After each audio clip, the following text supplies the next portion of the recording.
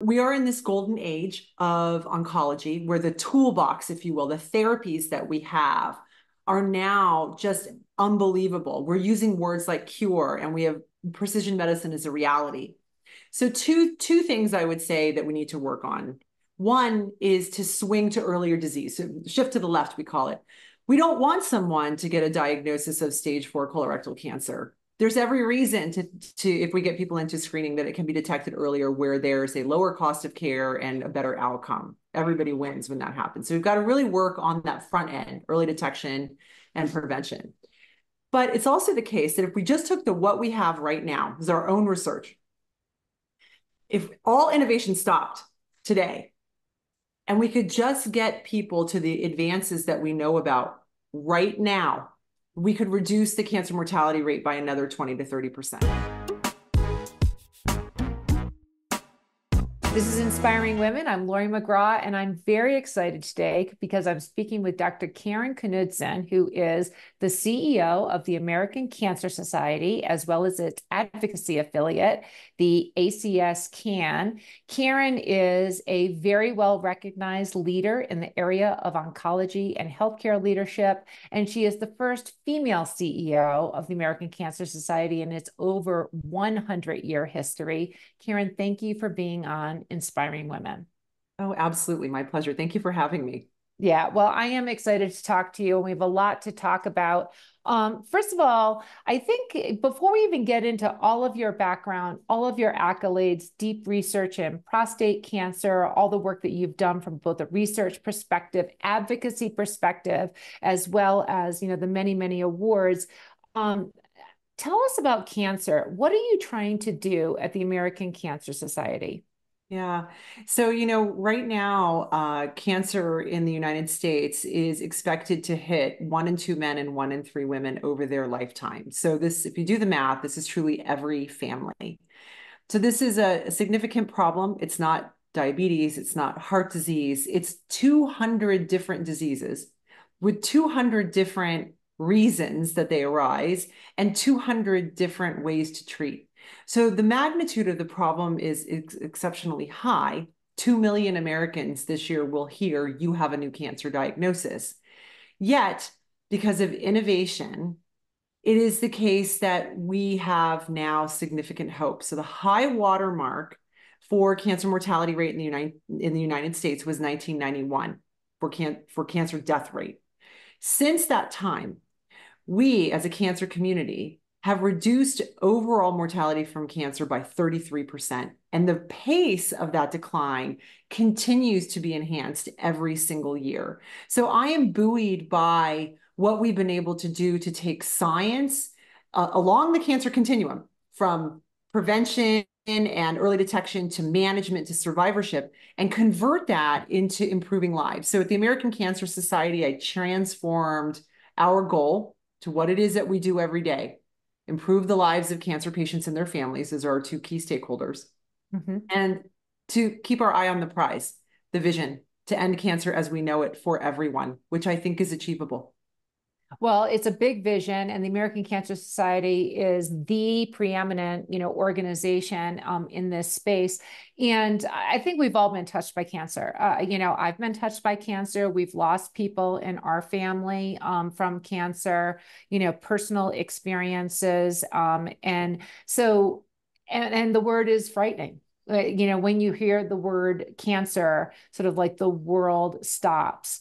But before you joined the American Cancer Society, Karen, um, you are a researcher. You're known for your research. You've done so much in this space. Where did it all begin? Begin? Um, when did deep science become part of the person that you are? Yeah. So, you know, I came into ACS with a very different kind of lens. Uh, I'm I'm not only the first woman in the 100 plus years of ACS to take the helm of ACS. I'm actually the first one to come from oncology. So, which actually is That's what I think. That what? That doesn't make us, sense. Wow.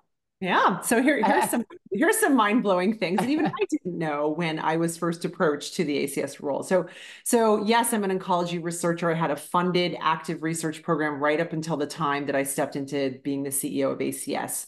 My area of expertise is in advanced prostate cancer, which I'd love to talk about if we have time. Um, and I've been fortunate enough to convert scientific discovery into clinical practice. I also was a healthcare executive. So I oversaw one of our one of the major cancer centers in the United States, the Sidney Kimmel Cancer Center, one of the National Cancer Institute designated centers of excellence in the United States, overseeing all of the science and all of the clinical care downstream mm-hmm. of diagnosis. What and what started off as a three hospital system in Center City, Philadelphia. And by the time I left, under a truly transformative CEO that is still a great mentor to me, Steve Klasko, we were a 16 hospital, wholly owned and incorporated system across two states.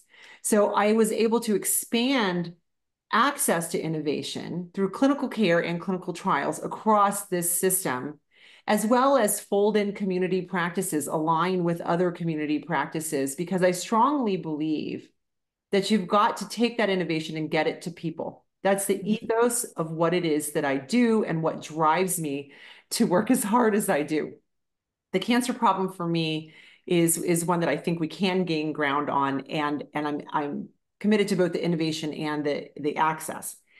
So I loved what I did, and uh, and really every day started off by going to the clinics and talking to the patients. There are two patients that from Jefferson I still talk to every single day by text. I mean, that's how I started off, and it's been years, right? But wow. this, this, is what, I, yeah, John and Lou, they if they're watching or hearing, they know who they are, and we we lovingly call each other the A team. We always have, and even an administrator who who worked with me, really talented guy, Dr. Husser.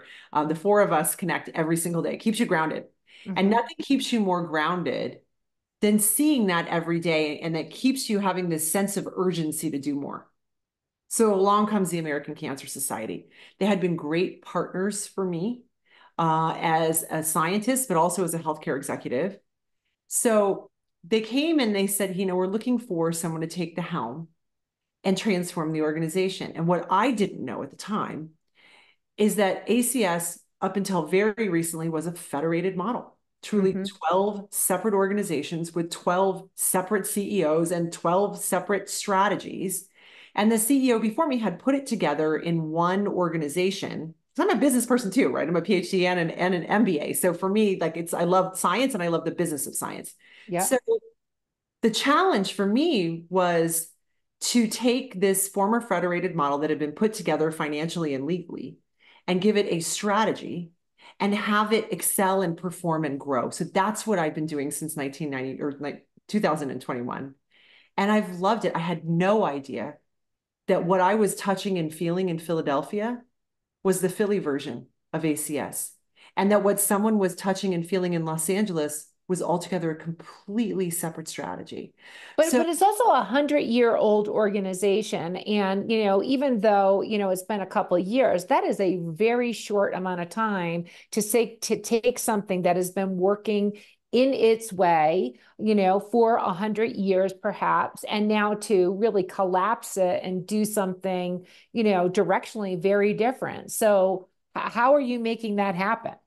Well, so that's exactly how they got me interested in the role because I did so much M&A in healthcare mm-hmm. that I really felt passionately, and also because I had so much experience firsthand with ACS, mm-hmm both as a as a, recipient of ACS activities, research and patient support that helped me in our clinics, but also as a as a volunteer.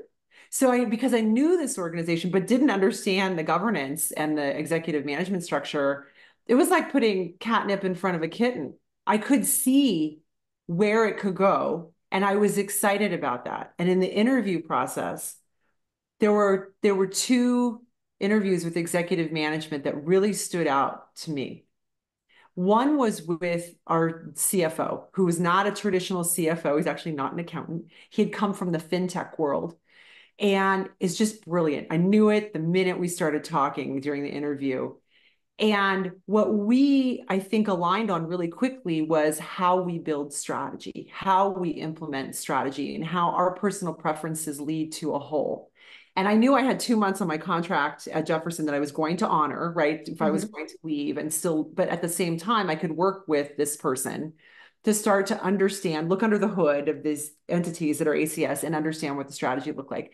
And then the second was with the president of ACS CAN, uh, Lisa Lacasse. That's our 501c4, fancy tax code way of saying we can and do lobby. And for our advocacy arm, we have operations at the federal level and in all 50 state capitals. And those are the durable solutions to the cancer problem. So the opportunity to move beyond into the C4 strategy as well, to really be able to affect change through advocacy, really jazzed me. And I thought, okay, we can make, like if we can align on a strategy, we're going to make magic happen.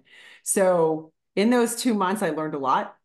We, I came in with the, we're going to change the mission and the vision to what we just talked about. Mm-hmm. And then we're going to structure this organization, form follows function, around the things that truly differentiate us, that we are uniquely poised to do. So, what are they? One, innovation. What does that look like? That's research. So, we're the largest funder of research outside the US government. We're set up a lot like the National Institutes of Health. Have our own scientists that mm-hmm. lay the single book of truth for the state of cancer in the country. And then we are the largest funder of research outside the country of best and brightest ideas. We must innovate. And then the other two pieces of ACS are dedicated toward getting those innovations to people. My smallest team is that Mighty team. It's the advocacy team. And I'm not everybody's on both. I am the CEO of both. My CFO is on both. But it is incredible the, the profound changes that we can make across the country when we do things like uh, have federal um, policy change so that patient navigators are a funded component of cancer care. Things like ensuring that people don't pay a penalty for their colonoscopy if they tested positive at home for colorectal right. using stool-based testing. Like these are huge federal wins. And then at the state level, it's things like biomarker reimbursement. It's how we match patients to therapy right the first time. It's precision medicine but it yeah. wasn't being reimbursed. So, you know, going state by state, working with the legislatures to get that passed that's how we create durable solutions. So that's my smallest but mightiest team. But I also think just, you know, if we could just like, you know, pause on this a second. Yeah. One of the things that's just like so, I think for most people who aren't uh, in in the area of healthcare, you know, and sort of grown up there, like the level pace of change of science and innovation in cancer, I think there is broad understanding that that has just accelerated in a very exciting way. And the innovations are amazing. But then there's this brick wall of where, you know, excitement meets reality in terms of the delivery of care. And just from what you're saying, it sounds like you, with the American Cancer Society, are able to perhaps accelerate that pretty significantly, is what I'm gathering. I think so. And it's because we're the Switzerland of cancer care. We have no financial interest on where anyone gets their care. But what we do have an interest in is making sure that there's this to, to end cancer as we know it for everyone. The mm-hmm. for everyone component of what I call those eight words that define us is not all, not all words are created equal.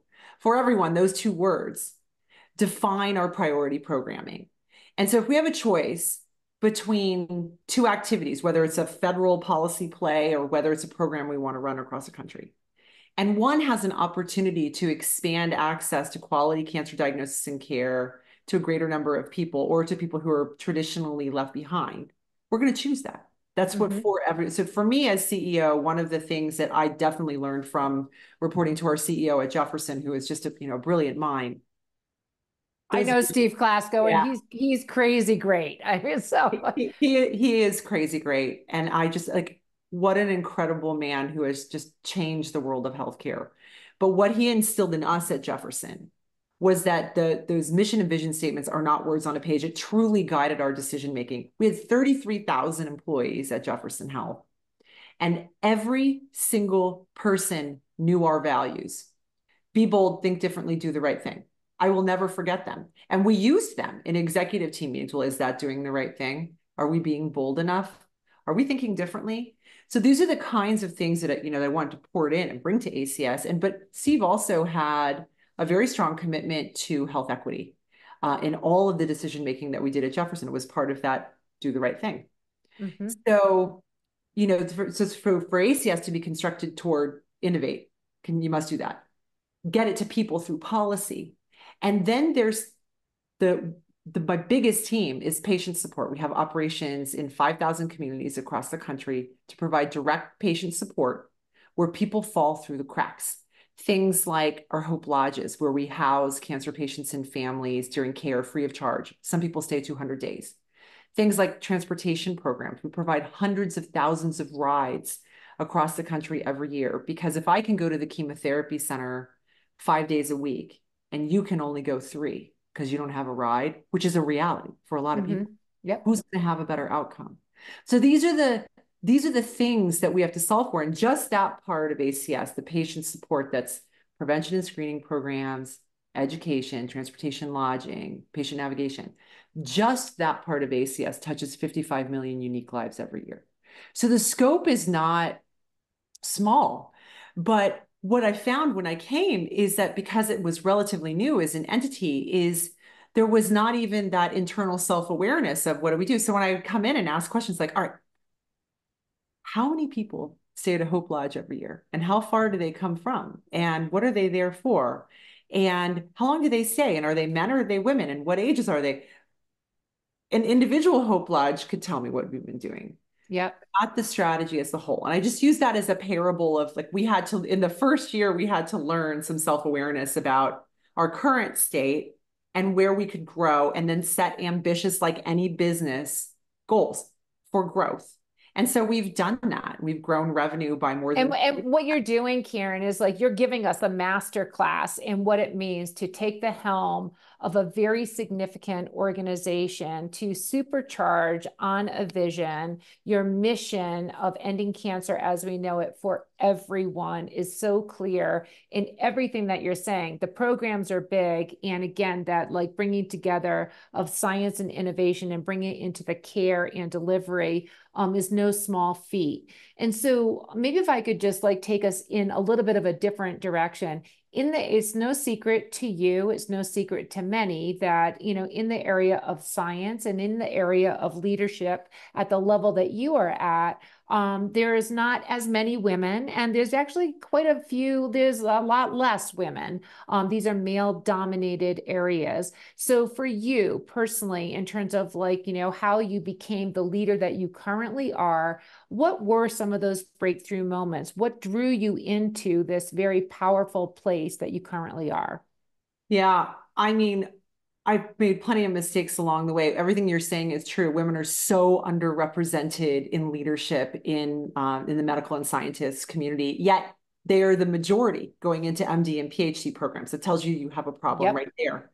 Uh, and you know, yesterday we heard uh, Dr. Laurie Glimcher step down from being the head of Dana Farber Cancer Center. And one, you know, I think at our peak there were nine of us that were women heading major cancer centers of the 72, and it's on decline again. Mm-hmm. So it's concerning. Why do women not want to do it? Or um, do they not feel like they have the support to do it? I think for me, I had some things in my favor. One, I'm a military brat. I grew up in an army family.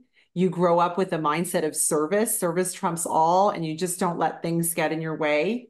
Uh, and so for me, um, that really helped. I had a mother who, as a result of being in a military family, had to reinvent herself every two or three years. Brilliant woman. And every two or three years had to reinvent herself when my father was redeployed. So I saw what, you know, the resiliency that she had. And then ultimately when, you know, when when they parked in one place and my mother quickly then escalated to become one of the first women executives of Williams Sonoma, gourmet cookware place, like cooking mm-hmm. with your passion. I learned a lot from that of, you know, from my my own mother, whom I still speak to, you know, every single day. She's an amazing 86 year old woman who could set the world on fire if she needed to. Like she could take the helm of any major organization. I feel feel fully convinced. But she um she really was a force of nature. And what I learned from her is to see a solution and be part of a solution. Like if you see something that can be better, if you see something, say something and then that somehow, almost against your own plan, starts to put you in a position where people ask you to lead a thing. Mm-hmm. And then if you agree to do it, then you have to make sure that you're going to do it well. And then that leads to you to get asked to, to lead the next thing. And so for me, I felt like I've always been the kind of person who wanted to identify solutions and say, let's go, and here's how it could go about it. And I want, if I'm going to come into your office and tell you that we can do think differently about something, then I want to help be part of that solution. I don't want to just dump it on you as the person that I report to. So that helped. But then also having people like Steve uh, yep. you know, who who said to me, I was the only service line leader, the only health leader who reported directly to him as the CEO at Jefferson Health. Cancer is a large mm-hmm. operation. And he said to me, Karen, I want you to run this like the CEO of cancer. Mm-hmm. And I'm not going to, he goes, I'm going to help you. If you need something, I want you to call and help, but I'm not going to micromanage you, but I'm going to hold you accountable. This can't. Yep. And if you've got a problem, you need to come to me. And so giving me the license to lead and arguably the license to fail as well. Yep uh, and learn from that along the way allowed me to take measured risks. And I think I bring that to ACS. Karen, I'm just wondering, most very powerful women, you know, have some of those things in their favor, like you're talking about fantastic mentors, people who pushed them early on or were able, you know, to look up to them. Can you remember a time where maybe earlier in your career where you took some, you know, you took something that was maybe you were a little afraid that, that to take that big risk? Because usually there's some initial moment where you know, okay, I've got this, even though you're maybe over your skis or scared to take that? What was your sort of like, you know, one of those first stories for you? Yeah, you know, I think one that comes to mind for me, which actually, as a as a former um, department chair at a school of medicine, I would never do this to someone. But my first faculty appointment was in the University of Cincinnati School of Medicine, and I was, you know, had put my laboratory there. It was growing. I had a lot of grants and I had a lot of responsibility at PhDs and MDs that I was training and doing the work in my lab. And there was uh, a, faculty member who left who ran the PhD program. Well, your PhDs are the lifeblood of your program. Your PhDs are in the lab 80 hours a week doing the actual work alongside you. So this is the lifeblood of everyone's program. So the head of the PhD program left, and, and my department chair at the time uh, came to me and said, Karen, you know, we, we really want you to run the PhD program. Well, if I'd had a, a mentor at the time and asked them, I'm sure they would say, you have no business doing that yet. You're way too early in your career. You don't have tenure yet. You need to be focused on grants and publications and, and going to conferences. But I thought, service minded, this is going to be really important to everybody. So I should do this. Yeah. I did it. I created the and, and I morphed it. I took it and I changed it into being an overall kind of cell biology program to a cancer biology program, the first one in the state of Ohio. Changing things from the start seems to be a little theme here. well, that was the condition of me taking it. I was saying, you know, like if we're going to do this, we're going to focus on our core competency, and that is cancer. And so I'm going to I'm going to change this around. And if you if that's the license to operate, then I'm going to do it. And I did it and I won awards in Ohio and it really grew. And I still, it's funny, um, there's someone at in, in my fold who's in leadership at Jefferson that I met a long time ago at Cincinnati who came through, you know, that program. And so I feel I feel very proud of it today I would never, as a department chair, ask an assistant professor to do this. I'm like borderline horrified that I was asked and that I did it. But um, but it did allow me at an earlier stage than one would normally do have an opportunity to work with university medical school leadership and either succeed or fail and and, and I, I, love I love how you just like you know took the bull by the horns and uh, changed things up. You know, Karen, as we close out, and I could just ask you so many more questions, and I would love to. But um, as we close out on this inspiring women conversation, um, just because you're doing so much work and leading the charge for us in this important area of cancer, I would just love it if you would give us sort of like your future vision of what might be possible, um, just from your point of view.